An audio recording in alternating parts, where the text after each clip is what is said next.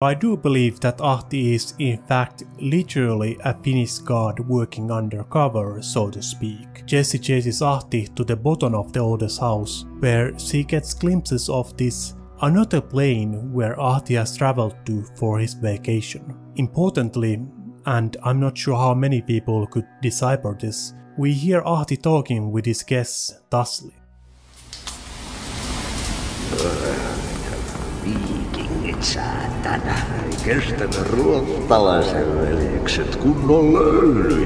This roughly translates to Damn Vikings, the Swedish brothers couldn't handle some proper heat. And right after this, Ahti gives Jesse a gift from his friends. The cassette belongs to real gods of Asgard, Nordic gods, who Ahti just sat in the sauna with.